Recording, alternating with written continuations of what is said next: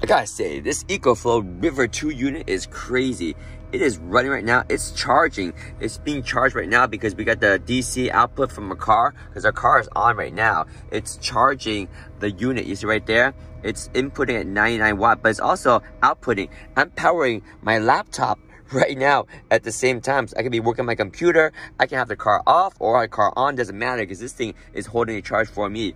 And it's charged right now because the car is on. So when the car is off, I don't have to be charging it. I can just be using the power as a power bank. It's fantastic. It's also charging my phone that I'm using to record this video right now too. And you also have another USB-C here, another USB-A. You can turn on and off individual outputs like that. That way you're very efficient at not turning off the ones you're not using. Or if you want to, you can even turn off the, the, the AC right now and not connect to the, the AC. Right now, I'm, I'm drawing only power for my phone, right? Or if I want to charge my laptop at the same time, I enable that and instantly it's gonna start charging my laptop. So very powerful unit and because it's charged right now, you might hear a small hum. That's because there's a fan back here and the fan's running. Yeah, the fan's right there, it's humming along nicely. You also have the AC input right here if you want to charge it. What's one hour will charge this thing from zero to 100%. It's crazy fast. But right now we're using a DC input and that is now connected right over here to our DC input right here because again the car is on and it's providing the charge